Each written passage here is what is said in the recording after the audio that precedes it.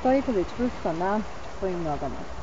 Ovo je pitanje vašeg srca, dakle unutrašnjeg svijeta, pitanje emocija, naših misli, mentalnih zadača, našeg intelekta, naše sposobnosti, našeg e, autoriteta, novca naravno, zdravlja, porodice.